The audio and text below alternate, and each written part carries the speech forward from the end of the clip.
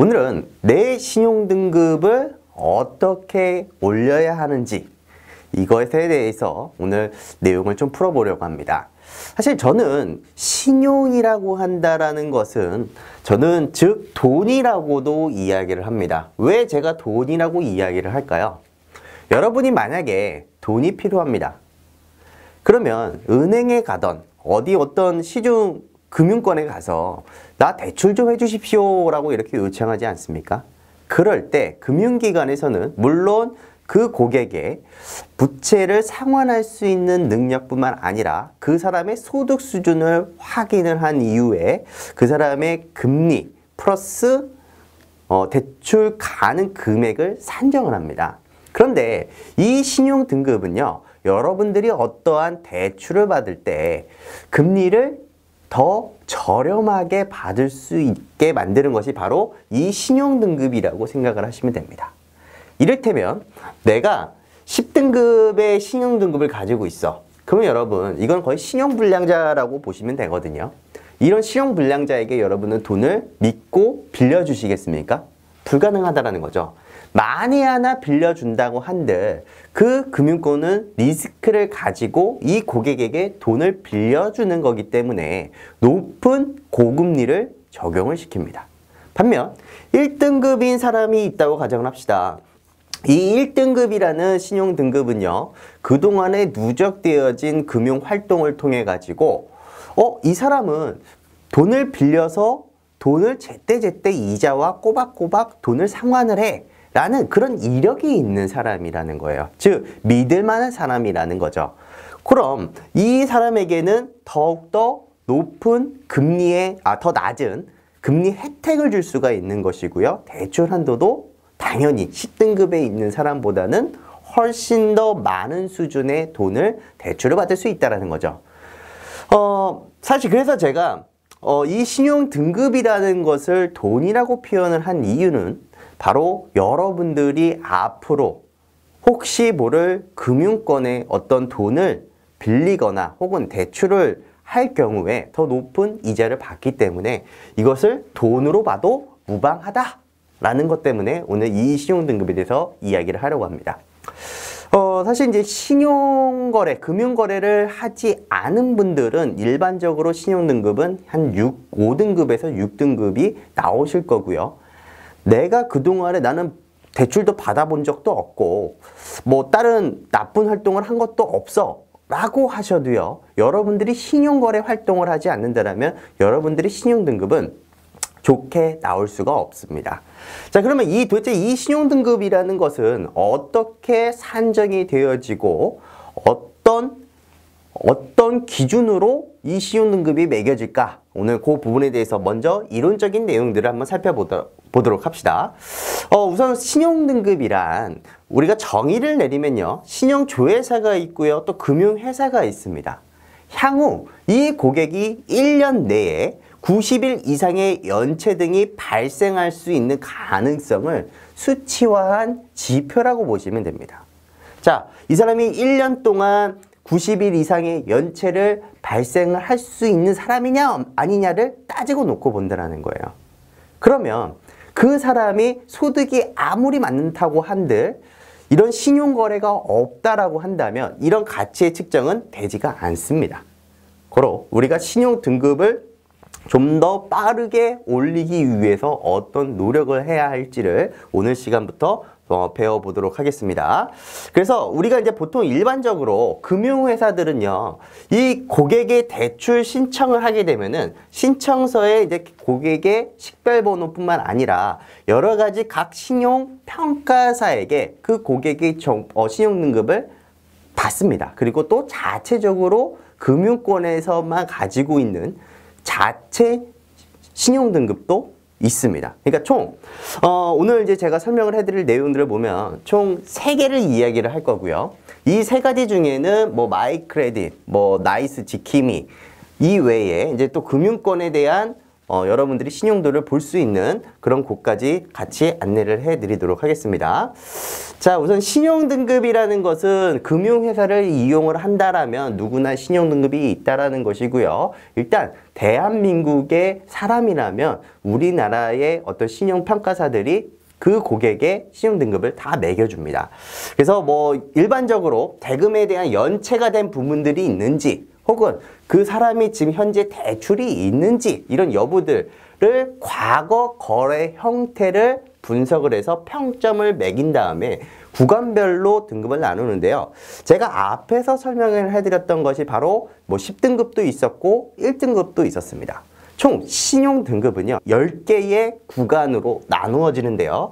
우리가 흔히 어 1등이다, 10등이다 라고 하면은 1등이 더 조, 좋은 점수 아닙니까? 신용 등급도요. 1등급이 가장 좋은 어, 등급이라고 이해를 하시면 될 것 같습니다. 내가 만약 오랫동안 다양하고 우량한 신용거래를 했을 경우에 1등급과 2등급이 될 가능성이 높다라는 것이고요. 이는 금융권에서는 이렇게 바라봅니다. 대출을 해줬을 때 그 돈을 갚지 못할 확률이 0.01% 수준이다. 라고 이렇게 평가를 한다는 것이고요. 그리고 3, 4등급 같은 경우에는 꾸준한 우량 거래를 함으로써 상위 등급에 진입이 가능합니다. 요거 같은 게 3, 4등급 같은 경우에는 부실화 가능성, 그러니까 너가 연체할 가능성은 있지만 가능성은 좀 낮다 라고 보는 수준이라는 거고요.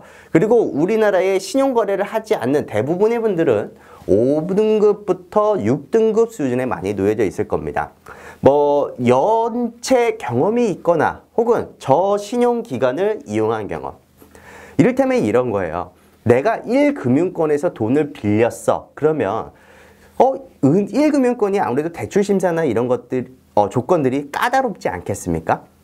그래서 더 저금리의 대출을 받는다라는 것이고 이거 1금융권에서 돈을 빌리지 못하는 고객들 같은 경우에는 또 2금융권, 3금융권, 4금융권으로 한번 또 기웃거리지 않겠습니까? 그렇다라는 것은 어, 이 사람이 1등급에서 받을 수 있음에도 불구하고 2, 3, 4등급으로 왔다? 자 그러면 question mark 하나 날라가겠죠. 어 1등급의 조건을 만족하지 못하니 4금융권으로 왔다라는 것이고 더 높은 이자를 내면서까지 돈을 빌려간다라는 거죠. 아 그러면 그 사람의 자금 상황이 좋지 못하구나라는 것을 이 신용평가사들은 판단을 하는 겁니다. 그래서 아, 이 사람이 저 신용기관을 이용을 했어? 그러면은 금리에 악영향을 미친다. 이렇게 보시면 될 것 같아요. 그래서 5등급에 있는, 5, 6등급에 있는 사람들은 부실할 가능성이 보통 수준으로 신용관리에 주의가 필요한 사람이다. 아마 대부분에 있는 분들은 5등급에서 6등급에 있는 분들이시기 때문에 이 위로 올라갈 수 있도록 노력을 하셔야 되고요. 오늘 그 방법도 알려드릴 겁니다. 앞으로 이 시험 등급이 어떤 기준으로 그리고 몇 단계로 나눠지는지에 대해 소개를 해드렸으니까요. 무엇을 보고 판단을 하는지 그 내용을 한번 살펴보도록 하겠습니다. 우선은 신용평가 기준 중에 가장 비중 있게 고려되는 항목이 바로 이 연체 이력이라는 거예요. 이 연체 이력 같은 경우는 대출에 대한 이자뿐만 아니라 여러 가지 과태료 혹은 각종 벌금도 포함을 하고 있습니다. 이를테면 국민연금보험료도 되겠고요. 건강보험료도 되겠고요. 공과금 혹은 휴대폰, 그죠? 휴대폰 이용료 등 각종 결제 금액이 모두 포함이 됩니다. 그러면 내가 이렇게 생각하세요. 내가 핸드폰 아 연체 한 3개월 정도 되겠지. 그러면 여러분들의 신용 등급에도 영향을 미친다라는 것을 생각을 하셔야 된다는 거죠. 자, 그러니까 내가 그냥 이렇게 쉽게 생각하세요. 내가 내야 할 돈들이 있어. 근데 그 돈을 성실하게 납부를 하는지를 아예 연체 이력에서 반영을 해서 본, 본다라는 거죠. 최근에는 이런 금융사뿐만 아니라 이런 통신사에서도 이렇게 다양하게 신용등급 평가사와 연계가 다 맺어져 있기 때문에 이런 정보가 계속 교류가 됩니다. 그래서 뗄래야 뗄 수 없는 어, 본인의 신용등급을 적용을 받을 수 있다라는 것이죠. 그러면 왜 통신료 같은 거는 왜요? 라고 물어보신다면요. 통신료도 마찬가지로 우리가 일정한 약속을 한 거죠. 내가 2년이라는 약정을 맺고 내가 통신 비용을 이렇게 이렇게 내겠습니다. 그러니까 어떻게 보면 소액이 낼 수도 있겠죠. 근데 그 소액 또한 관리를 해주지 않는다면 당연히 그 사람의 신용도에도 영향이 있겠거나 이 사람에게도 문제가 있겠구나 이렇게 판단을 해버린다고 생각을 하시면 될 것 같아요. 자 그러면 이게 바로 하루라도 놓쳤다고 해서 신용등급에 영향을 미치느냐? 그건 아닙니다. 이거를 보면요. 90일 미만의 연체 정보에 의해서 빚을 갚았다면, 그러니까 90일 미만의 연체 정보가 있었다면 3년 동안 신용평가에 반영이 되지만 90일 이상의 연체권에 대해서는 5년간 신용평가를 할 때, 어, 너 2년 전에 너 연체했었잖아. 그런 부분들 다 반영을 시킨다라는 거예요. 하지만 제가 이거를 바로 연체를 했다고 해서 모든 것이 적용이 되느냐? 그렇지는 않습니다.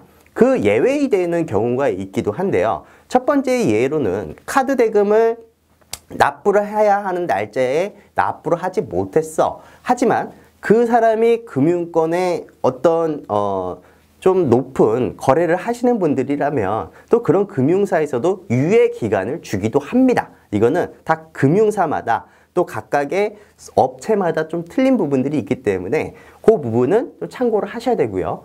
다만 이 수, 이런 기간들이 길면 길수록 이쪽에 연체 정보를 신청을 딱 해버리는 순간 여러분들의 신용도에는 3년간, 5년간 따라다닌다라는 것을 꼭 기억을 하셔야 됩니다. 그러니까 신용이라는 것이 신용관리라는 것이 이 단기간에 만들어지는 것이 아니라 장기간에 걸쳐서 만들어지는 것이라고 생각을 하시면 돼요. 그렇다고 해서 우리가 신용거래를 어느 때 많이 하겠어요? 보통 20, 30대 전에는 보통 신용거래를 많이 안 하죠. 30대 되면은 가정도 생기고 결혼도 하게 되면서 뭐 집도 뭐 전세 자금이라든지 혹은 뭐 여러 가지 자금이 돈이 들어갈 때 곳들이 많잖아요. 그래서 보통 30대 이후로부터 어, 내가 신용등급을 관리하면 되겠다라고 생각하는데 그거는 아니고요. 어, 정말 내가 빠른 신용등급의 이 싸움은 단기가 아니라 장기간의 싸움이기 때문에 신용등급도 20대부터 관리하는 것이 매우 중요하다라는 것을 또 이야기를 해드립니다. 자, 그리고 두 번째로 신용등급에 고려되는 어, 항목이 바로 자산 대비에 대한 채무 수준인데요. 이게 바로 두 번째로 많이 고려되는 항목입니다. 예를테면 이런 거죠.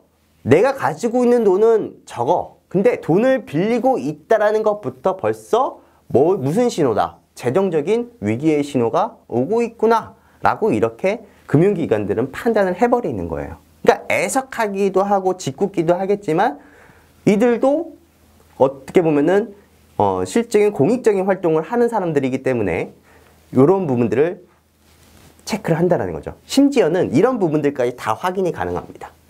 타인 등에게 보증을 섰다. 그 여부도 우리가 실, 어, 실제로도 다 조회가 가능하고요. 신용카드, 할부 거래, 내가 월마다 평균적으로 얼마나 쓰고 있는지, 할부 거래를 얼마만큼 쓰고 있는지까지도 정확하게 다 나옵니다. 또한 내가 신용카드를 만들었어. 10년 전에. 그러면 어 10년이라는 시간 동안 너가 신용카드를 썼어? 그러면 신용 점수도 반영이 돼서 10년이라는 시간은 짧은 시간이 아니잖아요. 그죠? 그러면 10년이라는 시간 동안 너가 그동안 현재 고객을 유지하고 있다는 것은 어 그래 너 꾸준히 신용 활동을 했구나. 이것도 플러스 요인으로 작용을 시킨다는 겁니다. 그리고 어 최근 들어서 예전에는 이런 것들이 많았어요. 대출을 받기 위해서 이곳저곳 막 대출 비교하느라고 신용조회 많이 했었는데 이런 신용조회로 인한 또 문제점들이 많이 발생되다 보니까 최근에서는 신용등급의 이런 신용조회 건수는 반영이 되지 않도록 바뀌었습니다. 혹여나 또 과거에 내가 이런 신용조회에 대해서 과거에 이런 부분들을 한번 문제시 삼아서 걱정해서 이런 것 조회를 하지 않으셨다면 이제는 신용도에는 큰 영향을 미치지 않는다라는 것을 다시 한번 말씀을 좀 드리도록 하겠습니다. 또, 어, 이 채무에 대한 수준 대해서 우리가 지금 일단 설명을 해, 드렸고요 그리고 이 신용 등급에 대한 평가 기준은요. 총 4개로 또 나누어 볼 수가 있습니다. 바로 부채에 대한 수준이고요. 연체 정보, 신용 형태, 신용 기간 이렇게 크게 네 가지로 나눠집니다. 부채는 35%에 대한 비중, 연체 정보 25%, 신용 형태 24%, 신용 기간 16%라는 거예요. 자, 신용 등급의 하락 요소를 살펴보면요. 소득 대비 부채가 일정하게 많거나, 그러니까 두 배에서 세 배 정도 이상 많거나, 카드 사용액이 50% 이상을 사용하게 될 경우에 신용 등급의 하락이 된다는 거예요. 제가 저 또한 이용을 하고 있는 부분들인데요. 신용 등급을 빨리 올릴 수 있는 방법 하나 알려드릴게요. 우리가 살다 보면 그리고 카드를 사용하다 보면은 내 카드 한도가 예를 들어서 300만 원이야. 그러면 대부분에 있는 분들이 일단 300까지 맞춰서 쓰시는 분들이 있고 숨턱까지 그냥 이용을 하시는 분들이 있습니다. 그죠? 그런데 이런 분들 중에서도 내가 쓸 수 있는 평균, 아, 평균적으로 내가 사용하는 금액이 300만 원이야. 근데 나는 그동안에 우량한 신용 활동으로 인해서 혹은 나의 소득 대비 너무 적은 신용카드 한도를 가지고 있어. 그렇다면 이 신용에 대한 한도를 아예 600만 원 이상으로 올려버리는 거예요. 그러면 내가 평균적으로 300만 원을 썼다? 그러면 내가 여기에 숨턱까지 안 쓴 거 아닙니까? 그죠? 그럴 경우에는 신용 등급에 좋은 역할을 하기도 합니다. 아니 좋게 반영이 돼요.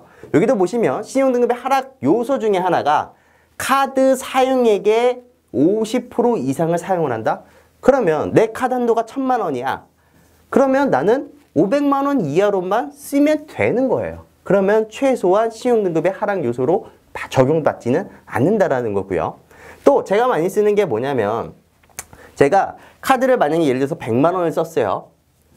그런데 이 100만 원을 여러분들이 쓰고 있는 카드사의 홈페이지에 들어가서 미리 결제 대금을 납부하실 수가 있습니다. 이를테면 내가 300만 원까지 써. 300만 원이 한도야. 근데 내가 300만 원까지 썼어요. 근데 여러분이 돈이 있다라면 이거를 미리 납부를 해버리는 겁니다. 그래서 50% 이하의 수준으로 계속 꾸준하게 유지를 해놓는다면 내 소득 대비, 내 신용 한도 대비 나는 그거를 순턱까지 채우지 않았다. 고로 여러분들의 신용도에도 긍정적인 요소로 작용이 된다는 거죠. 그래서 본인의 신용등급 카드를 좀 더 올릴 수 있다면 물론 올리고 나서 여러분 돈을 더 쓰시면 안 됩니다. 올릴 수 있다면 더 올려놓고 여러분들의 지출 통제를 하시면 좋을 것 같고요. 내가 만약 한도를 못 올리는 상황이라면 내가 납부할 수 있는 수준까지 미리 선 결제에 대한 시스템을 활용하자라고 이야기를 해드리고 싶습니다. 그리고 어, 이 카드의 정보 이게 정보가 남는 기간은요. 카드 이용 실적 1년, 그리고 카드 발급 해지 5년, 통장 개설 해지 5년 따라다닙니다. 그러니까 길게 쫓아다니면서 내 신용 등급에 계속 뭔가 조금씩 조금씩 과거에 일어났었던 일들을 반영을 시킨다는 거예요. 자, 그리고 연체 정보는 뭐냐? 25%에 대한 비중으로 따라다니게 되는데요. 3개월 이상 어, 50만 원 이상의 연체 세금 그리고 공과금들이 있다. 그러면 신용등급의 하락 요소로 또 작용이 되고요. 또 내가 100만 원 이상 1년에 세 차례 이상 연체를 했다. 그리고 그거 5일 이상 10만 원 이상 연체를 했다. 그러면 신용등급의 하락 요소로 적용이 된다는 겁니다. 그리고 정보가 남는 기간은요. 내가 돈을 다 갚았다고 해서 이 신용등급이 바로 쭉 올라가는 게 아닙니다. 왜? 채무를 모두 갚다라고 하더라도 5년 동안 이 정보가 따라다닙니다. 단 개인의 파산과 회생 절차를 밟게 되면 이런 부분들은 어, 또 제외가 된다는 점 그런 부분들이 있고요. 그리고 이제 신용 형태 아까 제가 얘기해 드렸던 1금융권을 제외한 2금융, 3금융, 4금융에 따라서도 이런 부분들을 많이 과다하게 이용을 한다? 그러면 신용등급의 하락에 영향을 미칠 수가 있다는 거가 있겠고요. 그리고 이런 것도 있어요. 집중 기간이라는 것이 있거든요. 이를테면 내가 현금 서비스 혹은 대출 이런 것들을 어, 지난달에 받았고 또 다음 달에 2월 달에도 받았고 3월 달에도 받았고 4월 달에도 받았고 이런 횟수가 연속적이거나 혹은 일정한 기간 내에 이런 대출들을 급격하게 갑자기 상승을 시켰을 때에는 금융권에서 보더라도 당연히 좋게 볼 수가 없겠죠. 이런 부분들도 신용등급에 대해서 나쁘게 평가한다라는 것을 여러분들이 알고 계시면 좋을 것 같습니다. 자, 그러면 우리가 신용등급은 아, 나의 부채, 연체, 나, 내가 어떤 금융 활동을 하면서 발생된 모든 정보들을 가지고 나를 평가한다고 했죠. 자, 그러면 이 신용등급을 우리가 어, 공부를 해야 되는 게 그리고 이걸 알고 있어야 되는 게 바로 여기서 나타납니다. 신용이요. 어, 어느 일정한 범위까지는 빠르게 올라올 수 있어요. 다만 2등급에서 1등급이 되기가 매우 시간이 오래 걸리고요. 어렵습니다. 하지만 7등급에서 3등급, 4등급까지 올리는 정도요. 금방 올립니다. 자, 여러분들이 신용이 나쁠수록 대출금리는 팍팍 올라가기 때문에 여러분들이 이런 신용 같은 거 있죠. 이런 신용들을 올릴 수 있는 환경이라면 빨리 올릴 수 있도록 여러분들이 환경들을 빨리 만들어 놔야 된다는 거예요. 자, 오늘 이런 거를 이야기해 드릴게요. 시중은행에서 신용 등급별 대출금리를 조사를 했더니 여기에 신한은행, KB금융은행 그리고 5대 신용 어, 금융은행 시중은행들을 대상으로 책정을 한 건데요. 1등급에서 2등급이야. 그러면은 금리를 3%를 줍니다. 3%에 빌려줄게. 그런데 2, 3, 4 등급까지 올라가게 되면요. 금리가 0.67%가 올라가서 3.67%의 돈을 빌려주고요. 5, 6등급은 5%, 7, 8등급은 7%, 90등급은 8%의 금리를 때려버립니다. 근데 여러분들이 내가 부채를 상환할 수 있는 것도 상환해버리고 그동안에 밀려있던 연체금들이 있었다면 이거를 빠른 날짜가 아니라 가장 오래된 날짜 거부터 정리하기 시작하면 은 이런 등급들이 바로바로 바로 여기, 여기까지는 올라올 수 있겠네요. 5, 6등급까지는 바로바로 올릴 수 있습니다. 혹은 여러분들이 지금 딱 바로 사회생활에서 금융권 거래를 시작을 하는 순간 5, 6등급이라고 했잖아요. 그러면 2, 3등급으로 갈 수 있는 빠른 길이 열립니다. 그러면 여러분들이 내가 1억이라는 돈을 대출을 받는다고 가정을 해보세요. 이 금리 차가 대략 어바웃 때려보면 2%죠. 1억이 2%면 여러분 얼마입니까? 20만 원이죠. 그 20만 원을 절약을 한순간에도 할 수 있다는 거죠. 이 대출 금리를 줄임으로써. 자, 하지만 이렇게 보니 2% 정도로 보니까 아 그래 그거밖에 안 돼 20만 원? 그럼 그 정도면 뭐 괜찮아 라고 할 수도 있겠지만요. 1등급과 10등급을 딱 비교를 해보면 금리가 5% 차이가 납니다. 그럼 내가 1억을 돈을 빌렸어. 그러면은 50만 원이라는 이자를 더 내야 된다는 거죠. 그러면 내가 20만 원에서 50만 원 늘어났죠. 약 2.5배의 비용을 더 내고 여러분들은 써야 한다라는 것을 이해를 하셔야 된다는 거죠.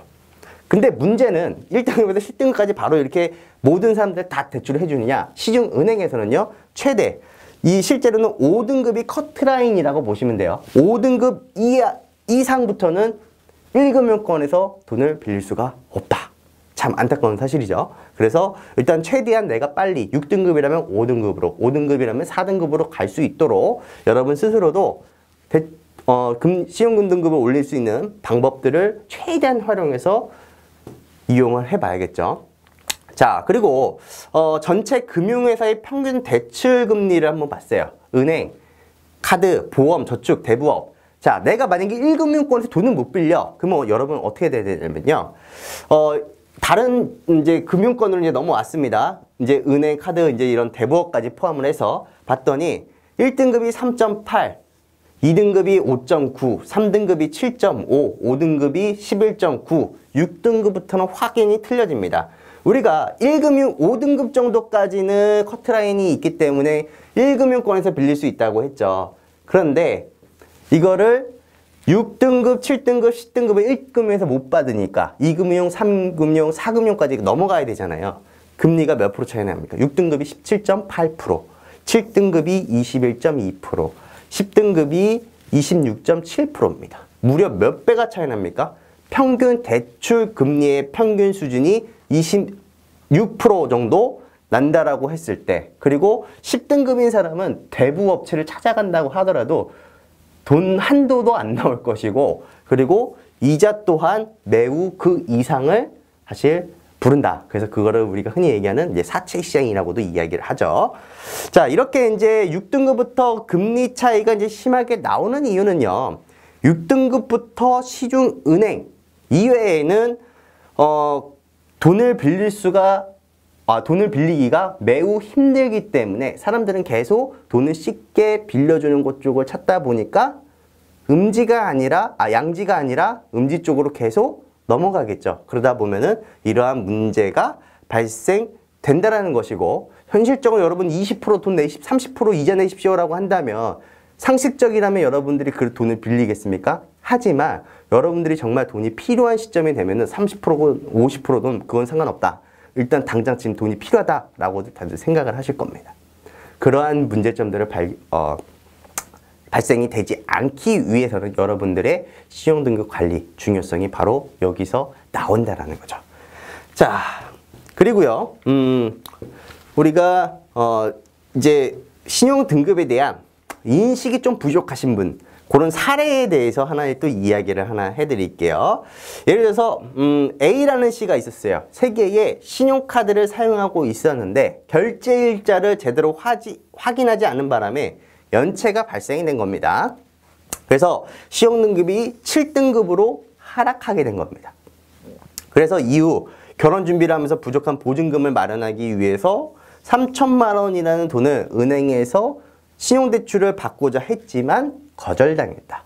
돈은 있지만 그리고 그동안에 이렇게 상환할 수 있는 능력은 있지만 이 연체로 인해서 신용등급이 뚝 떨어져 버린 거예요. 그러면 여러분들도 최소한 은행에 가기 전에 그리고 여러분들이 어떻게 급하게 돈을 필요할 수 있는 그런 시기가 있다면 여러분들이 신용도를 신용등급을 어느 정도를 알고 있을 정도는 최소한 되고 그 심각성을 여러분 스스로도 알고 계셔야 된다고 생각합니다.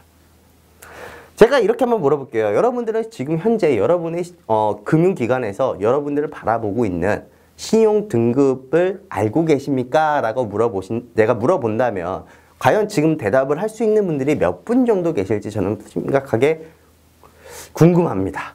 어. 근데 나의 신용 등급을 꾸준하게 매년 뭐 3개월이면 3개월, 6개월이면 6개월 정도씩 계속 들어가서 그런 내용들을 확인을 한다면 내가 모르는 연체 정보들도 확인을 할 수도 있다.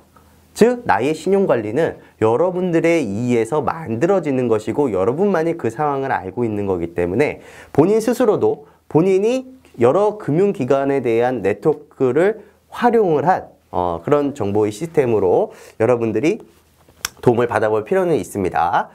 어, 그리고, 음, 여기에도 이제 내용이 나오죠. 사회생활을 시작하는 신입사원, 회사를 입사해서 나 소득이 이렇게 나옵니다. 라고 하더라도요. 신용등급은 5등급에서 6등급에서 시작을 한다. 라는 것도 알고 있어야 됩니다. 하지만 대부분에 있는 분들은 어, 나는 지금 6등급이 아닐 거야. 나는 신용 연체도 없었고 해도 여러분 6등급이에요. 그래서 요거는 6등급이라는 것은 내가 당장 금융권에 가서 신용카드 만들어주세요 해도 거절당할 가능성이 높습니다. 그래서 최소한 여러분들이 6등급에 이제 시작을 하고 꾸준한 이제 거래를 통해서 음 이제 여러분들이 신용등급 향상에 이제 도움이 되는 거기 때문에 그런 부분들을 어 반드시 체크를 하셔야 되고요. 그리고 여러분들도 이런 걸 한번 많이 보셨을 거예요. 광고 중에 어, 한 달은 무이자로 빌려드립니다. 라는 혹시 이런 이야기 많이 광고 보셨죠? 그 광고의 대부분은요, 바로 대부업체입니다. 그 대부 업체를 여러분들이 이용을 하잖아요. 아무리 여러분들이 무이자는 달콤한 말에 속아서 넘어가서 그, 그 사람에게 돈을 빌렸다 하면은 그 기, 이용 기록이 바로 또 넘어갑니다. 그래서 여러분들이 신용등급에는 매우 나쁘게 적용을 받는다라는 것을 여러분들은 반드시 알으셔야 될 겁니다. 그래서 오늘은 어, 지금 일부의 내용에서는 여러분들이 신용 관리를 필요하는 필요 어, 관심 있게 봐야 되는 방법에 대해서 이제 소개를 해드렸다면 2부에서는 여러분들이 신용 등급을 어디서 보고 좀 더 빠르게 여러분들이 신용 등급을 올릴 수 있는 방법에 대해서 이야기를 해드리도록 하겠습니다.